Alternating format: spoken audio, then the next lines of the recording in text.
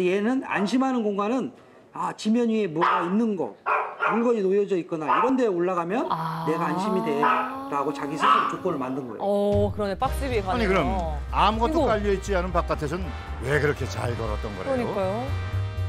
걔들이 보는 시각은 흑백의 세상이에요.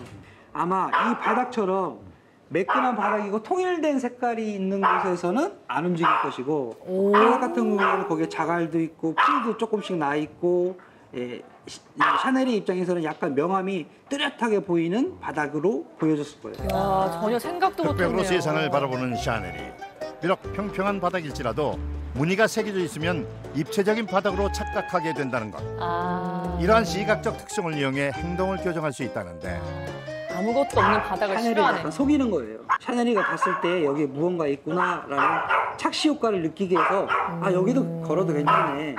저 이제 바둑판처럼 만들었어요. 어떻게 보면 배변판하고 유사하게도 보일 거예요.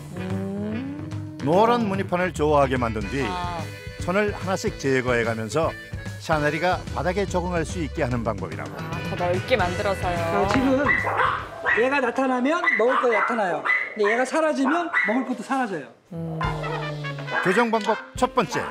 노란 판이 보이면 먹을 것으로 보상받을 수 있다는 좋은 기억을 심어준다.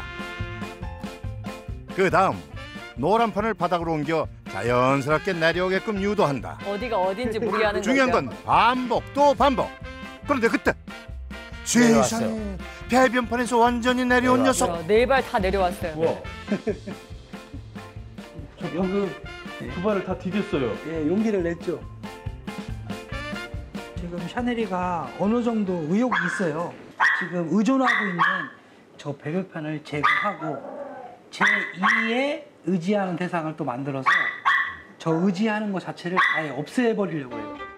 자기가 제일 이번엔 불편했겠죠. 배변판을 치운 다음 샤넬의 행동을 관찰. 어, 왔다 갔다 하네요. 어리둥절해요, 이제. 과연 샤넬이는 배변판이 아닌 바닥을 향해 발걸음을 내디딜 수 있을까?